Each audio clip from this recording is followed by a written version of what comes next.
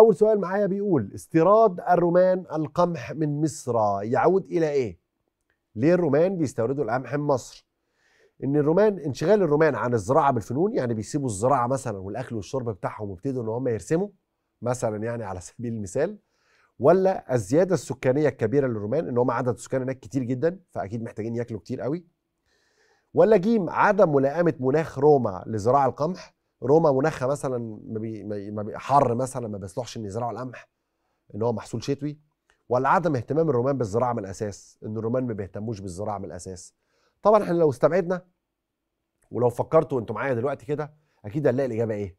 أكيد الزيادة السكانية الكبيرة للرومان. هم كانوا كتير وكانوا محتاجين قمح وإنتاجهم وزراعتهم القمح في الأول وفي الآخر هي ما بتكفيهمش برضه.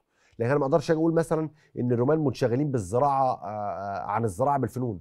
أكيد لأ يعني مش هيقعدوا يرسموا وينحتوا ويسيبوا الأكل بتاعهم ما هيموتوا كده.